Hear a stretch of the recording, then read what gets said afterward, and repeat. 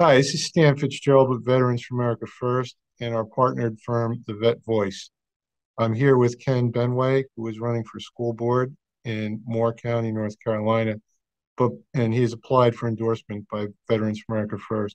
But before we talk about that, Ken, uh, you run an organization uh, that's important for veterans in this country. Can can you tell us about that, what you do, and tell people how to get the information? Sure. Um, I run a uh, an organization called Special Operations Speaks. We established that back in 2012. Myself, a Navy SEAL captain down in Chocowinity, North Carolina, and a colonel who uh, was a uh, MC-130 pilot there in the Panhandle of Florida, and we we got together actually and pooled a hundred bucks and started a website, and uh, we went on online and complaining about the security leaks surrounding the Bin Laden uh, raid. Uh, and that those leaks were generated by the, the White House at the time, the Obama administration, and in particular, uh, Joe Biden.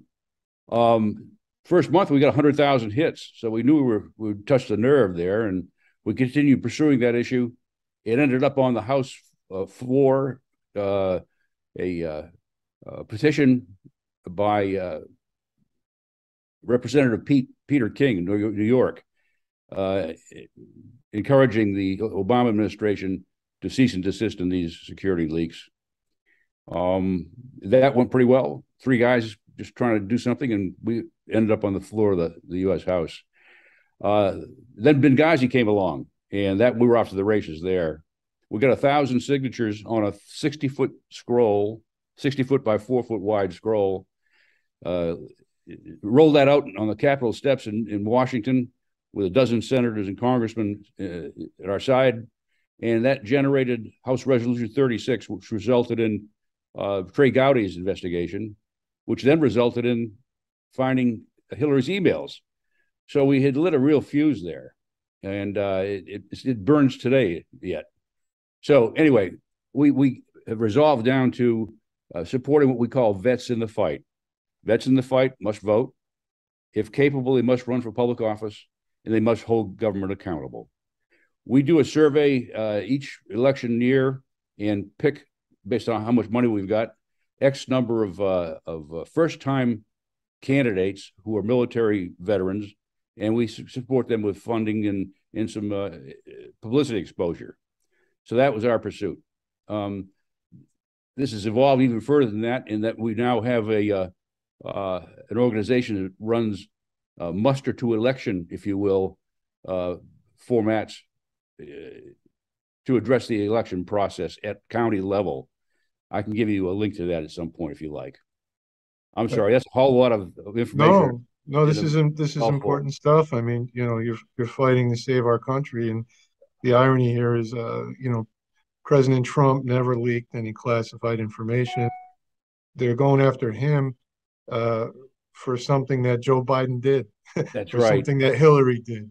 For some, you know, it's the double standards in this banana republic are amazing. But let's talk about your election because it all starts in the schools. Um, you're running for school board. Tell us a little. We, we know about your background.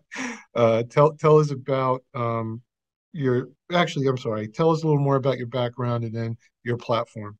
Sure. Um, I served 27 years in the uh, U.S. Army Special Forces and parachute infantry units. I retired as lieutenant colonel. Um, I did my uh, my time in Vietnam in 1967, 68. Uh, like I say, spent next 27 years on active duty.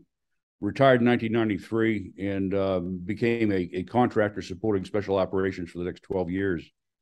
Uh, around 2012, I, I retired fully, um, and now I'm just making trouble for uh, for uh, politicians that don't don't support the, the Constitution. Uh, so going into this uh, this uh, election, um, you know, as you get older, you you cast back and decide that you know my teachers in high school and grammar school, I could never repay them for the, the education they they left me with. Uh, those those tools that I I needed to become successful and I don't like what I see in the schools now today. We have a, a, a steady decline in student performance, and now we've pu- pushed in the social engineering aspects that are are crowding out real education. So we we we need to turn this around, and uh, over the next four years, if elected, we've got a good solid uh, group of conservatives with varied backgrounds that I think can can help do that here in Moore County. Okay, and as far as uh, your specific race, I understand you're running on a slate. Yes, myself, um, Pauline Bruno, and Shannon Davis. Okay, And uh, I know the answer to this um, because it's reflected in your comments, but can you just tell our board, the voters and the viewers, uh, your position on America First policy? Oh, absolutely support that. That's that's what school and many other aspects of, of citizenship are all about. Um, we've got to take care of America. We haven't been doing that very well in the last decades, actually. Uh, we tend to uh, try to uh, serve everybody else, but let things go here at home, and we need to fix that. Ken, I thank you for your service, Lieutenant Colonel. Um, thank you for everything you're doing with your organization, and hopefully, uh, we see you get into office here and help change the school system for the better. So I, I have enough to float this up the chain, and uh, I will be talking to you next week, sir. Great, looking forward to it. Okay, Thanks very thank you. You're very welcome. Thank you. Okay, have a great weekend. You too. Yep. I'm Ken Benway, running at large for Moore County School Board. I'm a retired Army officer, and I'm appalled to find that upwards of 70% of our military sons and daughters cannot read at grade level. 70%. Over 50% of our students are failing at math and English. The rate is even higher for minorities. Our students are in a post COVID learning crisis. Core proficiency in math and English must replace political agendas in the classroom. I oppose indoctrination using CRT in the classroom. Pornography attacks both the intellect and the spirit. Permitting pornography in libraries and classrooms destroys the spirit, betrays parents, and undermines families. Student safety on our school buses has been compromised. I want to restore mutual trust and confidence between the Moore County School Board and parents. Parents do matter. I'm Ken Benway from Whispering Pines. I'm running for Moore County School Board, and I'm asking for your vote. Cast your school board votes for Ken Benway, Pauline Bruno, and Shannon Davis, your Moore County School Board parents team.